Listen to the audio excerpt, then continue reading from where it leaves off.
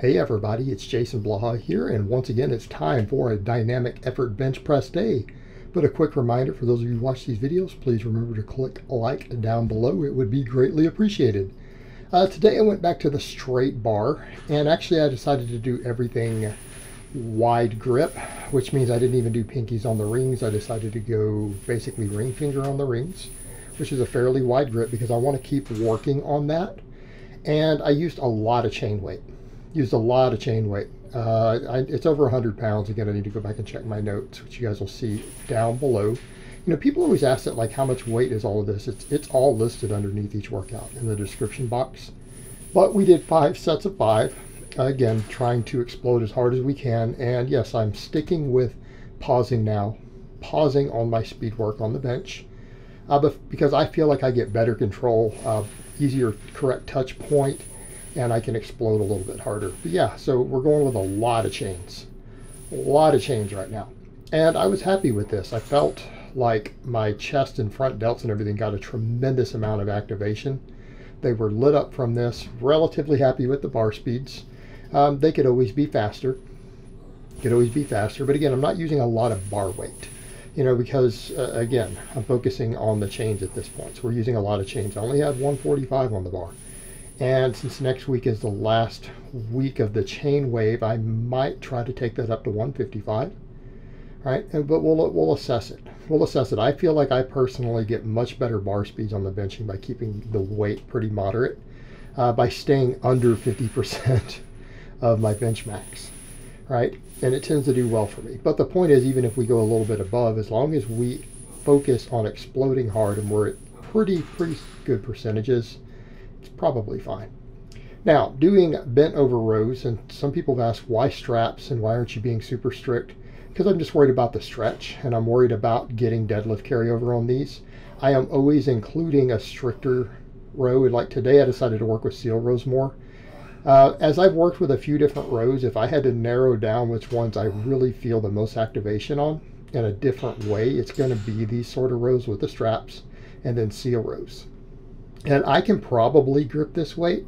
I just can't pull it as explosively. I'd have to focus so much more on trying to squeeze the bar that it's a problem. I mean, I can rep out 225 easy, which you guys have seen me do without straps for these. Not a problem, even holding on to it. The issue is, again, I don't want it to become an issue because I do train my grip so much, especially after a deadlift day. Uh, and I'm doing a lot of grip work right now. I'm doing dead hangs multiple times a day. I'm now doing the axle bar work. My grip is fine. I don't personally need rows to help. If you're a noob who's trying to build your base grip strength, you need to not strap up for these, right? Do not strap up for these. I already can grip well over 600 pounds on the deadlift and I'm trying to get stronger at it.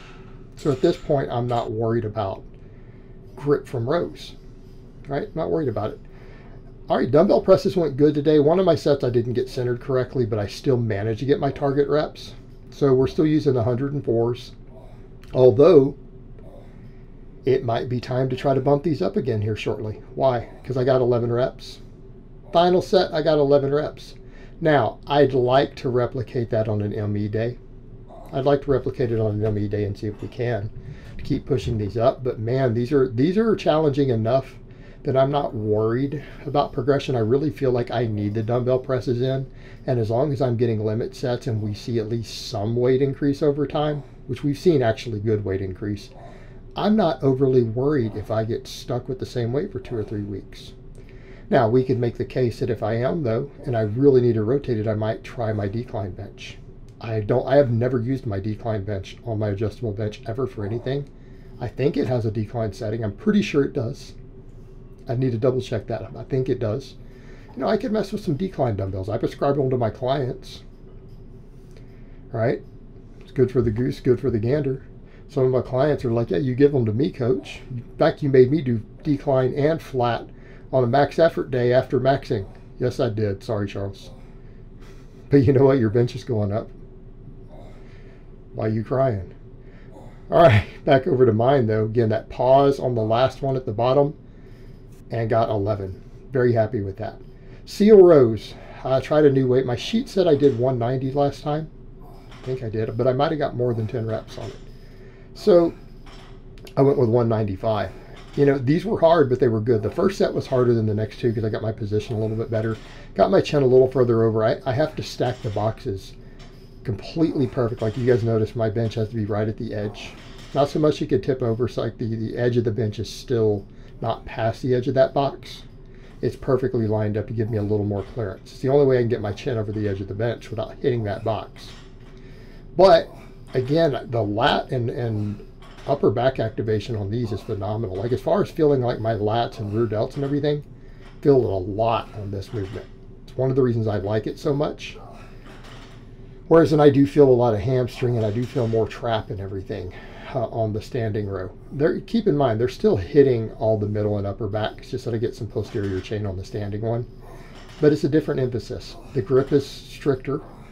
Well, the grip is wider on this than the other it's stricter. So it's the good combination. These two together work very well for building my whole back, right? And, and again, there's a whole tendency there. Like I've got certain things involved with that that I would say there's a combination of lifts there I'm using to build my deadlift.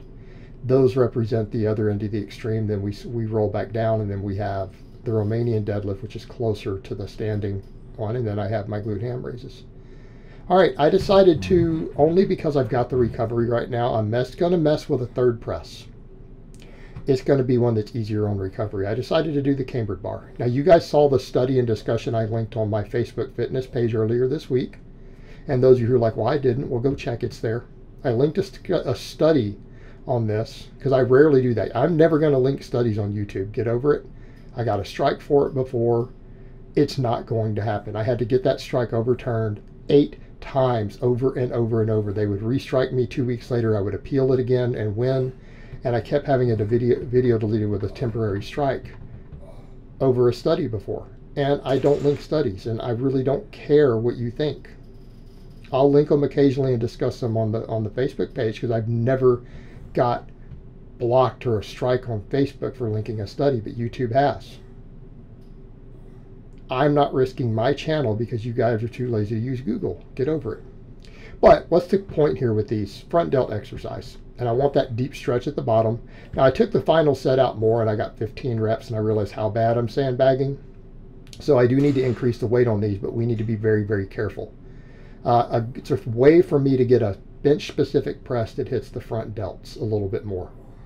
Hits the front delts a little bit more right? Because most of my rest of my bench training is is a little more pec and tricep oriented. I just want to make sure the front delts are getting some bench specific work. All right, now I'm only doing three single joint exercises at this point. I've realized where does where does my real efforts need to be on these, the incline curls or some sort of curl, and I like the incline for now. Uh, again, because of the stretch reflex, I can always replace it with, with barbell curls. All right. I went with 40s. I got three sets of 10 with 40s. We're getting stronger on the dumbbell stuff, which makes me happy. You know, we've been slowly bringing it up, but I got 40s for 10 on all of my dumbbell movements, which again, I'm picking movements that let me do that. And again, the rear delt flies, a little cheat involved. It's not ultra strict, and that's okay. For our purposes, it's fine because it is hammering the muscles that we need to hit in the whole upper back, including the posterior delts. But the incline curls, these felt good. And I think this gives me right around the amount of bicep volume I need with all the rowing I'm doing. Now, if we count rows as half sets, and we should, it gives me six sets for biceps per upper day, 12 a week. It's all we need. In fact, there's some data that shows that biceps actually have a little lower volume tolerance, some of the muscles of the upper body. Number two, I don't want my tendons inflamed. I do a lot of heavy mixed grip pulling I need enough bicep work to get bicep growth and to build those tendons. I don't want tendon inflammation when I'm deadlifting heavy all the time, or at least once a week. All right, not worth it to me. So then I did my rear delt flies and I alternated them. It's not a true superset because I, I do a little bit of setup in between them with my tricep extensions just to save time because while I'm recovering, you know, if I'm going to take three minutes between sets, which I do because again, I notice I'm doing limit sets on these, so I'm not dropping reps down. I'm giving myself three minutes between these, even these small single joint movements, because at this point, the volume is fairly low on them. I need every set to maximize stimulation. Right? It's what we need.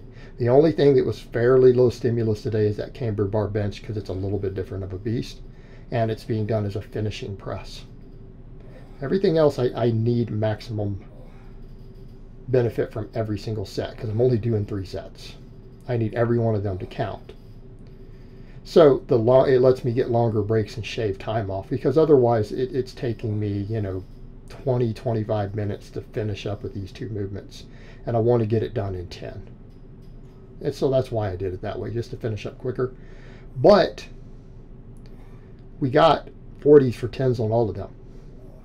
And I felt my whole upper back and rear delts on these good. And the triceps, really, I'd say the ones that I felt super hard today, though, were the, the tricep exercises. I thought the incline curls hit hard in my biceps. Biceps were really pumped when I walked by the mirror after a big bicep vein coming out. It was, it was working. But when I got to the triceps, I really felt that extra two and a half pounds in those dumbbells. I really felt it today. The tricep extensions, these were money. Hey, and we know my triceps need to come up. I mean, visually, if you look, actually, my tricep is smaller than my bicep. I need them for benching, and really the whole point here is getting the long head. And again, that same study I linked, there's some discussion there. I'll have other videos in that discussion that looks at a lot of the, the research between max benching versus rep benching, muscle activation, hypertrophy, tricep hypertrophy on presses versus extensions. There's a lot of good stuff. There's a reason we need extensions. The reason we need extensions to help with our max bench, it will benefit you. It'll help you get that last 10 to 20 pounds on a big bench. It really will. But it's the long head that we're looking at there with some of those extensions. And something that we look closer at the data, everyone who's like, oh, different extensions hit the different heads vastly different. That's not necessarily as true as you think from a hypertrophy perspective. It really isn't. Most extensions hit the long head harder than presses do. And that's the whole point. And they hypertrophy it more. And that's what we're looking at. That's what we're looking at is hypertrophying that long head for its carryover to your max bench. Because the max bench uses the long head, but rep work doesn't use it as much. All right, guys, but that's really all I have to say on that today. I hope it's been informative, and I will talk to you guys next time.